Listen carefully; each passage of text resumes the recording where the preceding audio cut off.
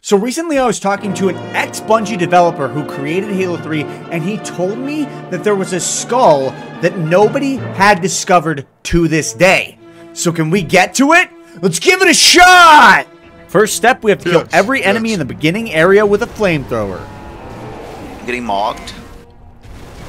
Oh my god, there was almost an enemy that snuck by. Oh, dude, you bet. Make sure you get him, dude. I'm Second step, we have to destroy every single flood pustule on the Pustule? walls. Third step, we have to activate this terminal and pick up a hammer. Damn hammer! Fourth step, we have to make it to the end of this hole's tunnel. Come on up, pal. I'm go, dude. This is the secret forbidden tunnel.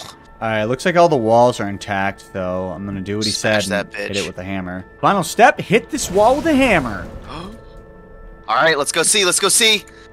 Whoa! What? No way! He was telling the truth.